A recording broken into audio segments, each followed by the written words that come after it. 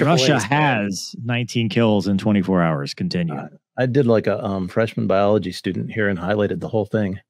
Russia, Russia's Ministry of Defense has announced that its air defense systems managed to shoot down seven Ukrainian MiG 29 Fulcrums in a day when the Russian military is still recovering from the unexpected ATACMS attack on its airfield. Only during the last 24 hours, seven Ukrainian MiG 29 were shot down by air defense.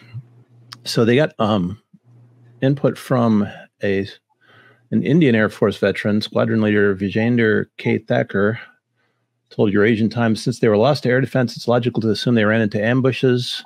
When asked to elaborate, he said they fly low to avo- avoid detection and then they pop up near the launch point for the JDAM they're carrying. When they pull up, they're prone to detection by adversary, adversary radar. And then the um, Eurasian Times goes on to point out that none of this has been authenticated. Although the exact number of MiG 29s in Kiev's arsenal is unknown, there were reports that just about 50 in flyable condition. So losing 19 out of 50 matters.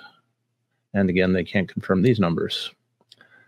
It's widely known that frontline MiG 29s have been borne the brunt of the aerial war with a much superior force, air force in Russia. They've been pulling them out of long term storage, refurbishing them locally, and borrowing from the Slovaks and Polish and improving aircraft. So apparently they're really having a hard time putting planes in the air. That's the story. Yeah, I, around here.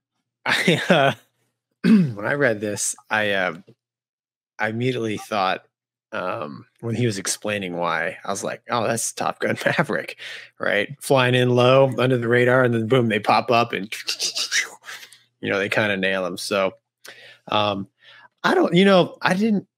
I mean, Mover or T Bear, I didn't realize that they had JDAM on the MiG twenty nine. Yeah, that's a mm. good point. I guess you know you what I'm have to saying? go pre-planned. I I mean, yeah, exactly. I mean, there's all kinds of stuff you got to put in an airplane before you can before you can use JDAM. Yeah. I mean, use it ac- accurately at least. I mean, I, I at least with my knowledge of the JDAM. So I think that's kind of weird. And then the whole I'm not saying you can't do it, but the whole idea of flying in low and basically like lobbing it um, to me is a little strange.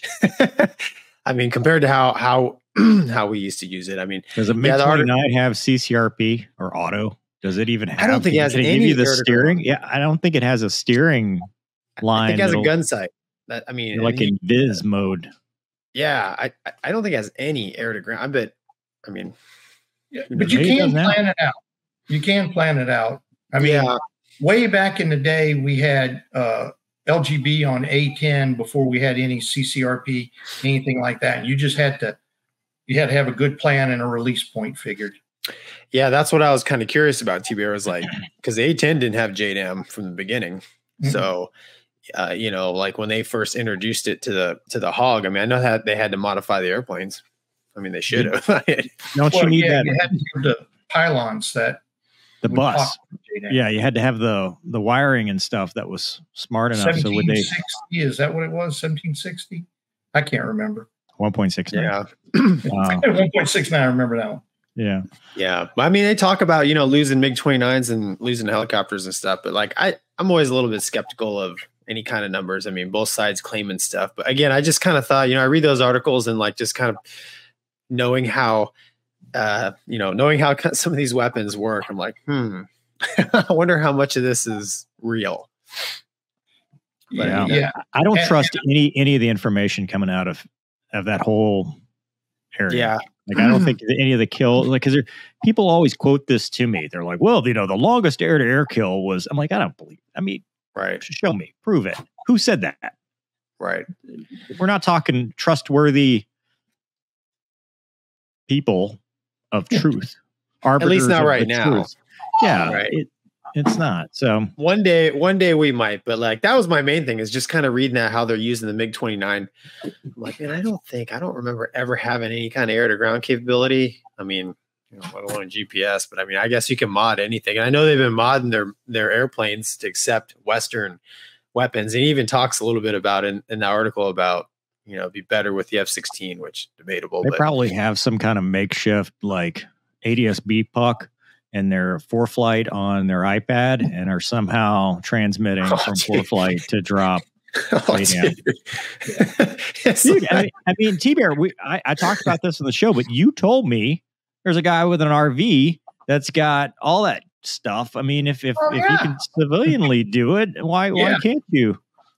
Well, hey, you know, you bring up a good point, right? When we were flying T-38s, right, with our our GPSs and stuff, they you're right, they started to bring in some civilian stuff, like because it's Yeah. better, so it's better. Well, we tried the uh, we tried the uh, uh, whatever it was called the position reporting thing APRS.